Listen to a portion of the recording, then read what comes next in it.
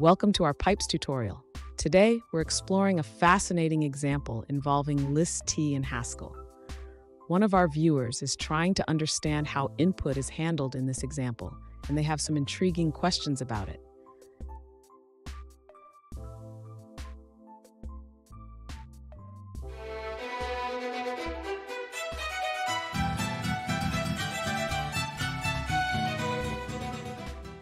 Welcome back to another technical video. Today we're going to be going through your question, answering it, and hopefully finding that solution you need.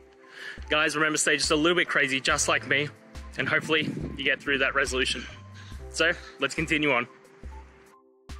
Let's break down the ListT example from the pipes tutorial. First, we have a producer that reads input from the standard input until the user types quit.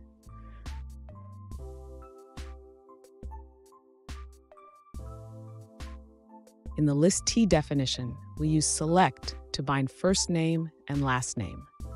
This means that the first input will be assigned to first name and the second input will be assigned to last name.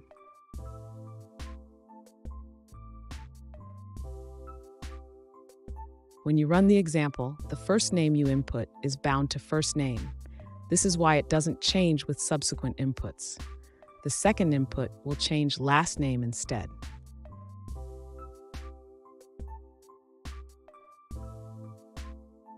Entering quit allows you to rebind first name. This means you can input a new first name, but last name will still hold the previous value until you provide a new one.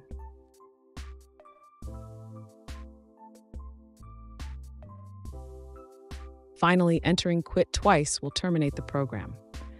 The first quit allows rebinding, while the second one exits the loop.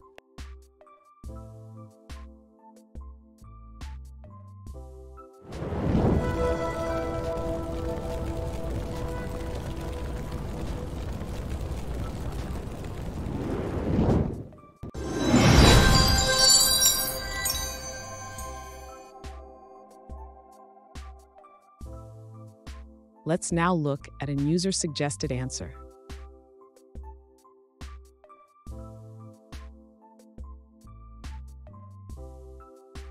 To enhance the name prompting behavior, you can utilize the monad zip instance of ListT. This allows you to alternate between asking for first and last names.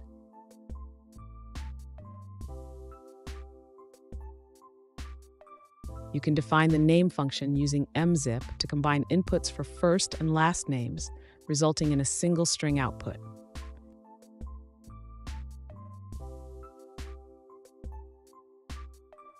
Additionally, you can use monad comprehensions and parallel list comp extensions for a more concise syntax, allowing for cleaner code.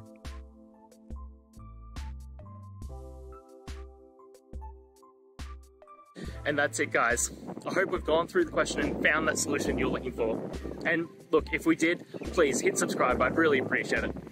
And until the next time you need technical help, I hope you have a good one. Cheers.